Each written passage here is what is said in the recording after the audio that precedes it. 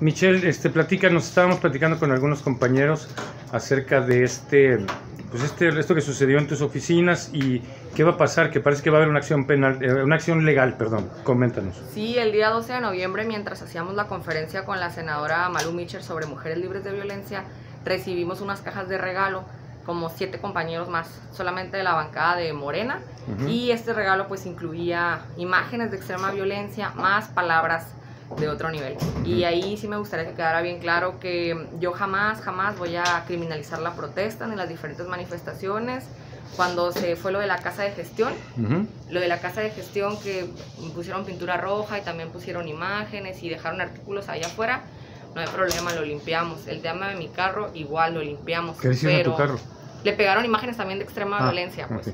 Pero no, no pasa nada, pues eso se quita, se limpia y no pasa nada. Jamás vamos a criminalizar, criminalizar la protesta. Sin embargo, el tema de ya cuando las palabras son de otro nivel y cruzaron esa línea, pienso que tenemos que visibilizarlas y denunciarlas porque somos congruentes con la cultura de la denuncia, somos congruentes con una agenda libre de violencias y sobre todo también porque puede exponer a los trabajadores y trabajadores del Congreso del Estado, a- también a los guardias de seguridad y eso también es un llamado al mismo Congreso para revisar los protocolos de seguridad.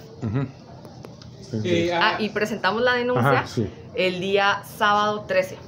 ¿Tienen algún tipo. Me preguntaban que tienen fotos o tienen algo. Ajá, pues tienen, eh, bueno, hay grabaciones aquí del Congreso del Estado, del- de, la persona que entregó el- estos regalos sorpresa. Y aparte, el día sábado nosotros tuvimos un evento de fútbol contra las violencias en Portales y ahí fue la fiscalía aparte para el evento de prevención del delito y aprovechamos también para ir a entregar nuestra denuncia ese mismo día. ¿Tú ya, ya tienes identificado a alguna persona? Bueno, en lo particular yo no tengo identificado quién es, cómo se llama, etcétera, pero lo que sí es claro es que hay cámaras dentro del Congreso, en las afueras también, y pues se puede reconocer a la persona que haya entregado. Igual a lo mejor simplemente fue el vehículo quien los llevó, pero pues ya le tocará a la autoridad hacer las investigaciones. Nosotros no estamos señalando, ojo, que las personas que se hayan manifestado anteriormente por el tema del, de la despenalización sean las mismas. O sea, eso nosotros no lo sabemos. Ya la autoridad dará el seguimiento a nuestra denuncia por, por amenazas que presentamos el día sábado 13 de noviembre.